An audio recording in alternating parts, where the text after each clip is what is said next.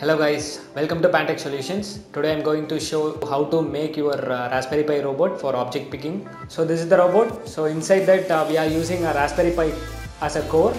So other than that we are using uh, some of the sensor that is IR sensor, two IR sensor for line following and uh, one ultrasonic sensor for detecting obstacle and here we are having one uh, arm for picking and placing so this is RF reader so based on the RF card which is detected so it will make a place or pick. So here we are having four cards.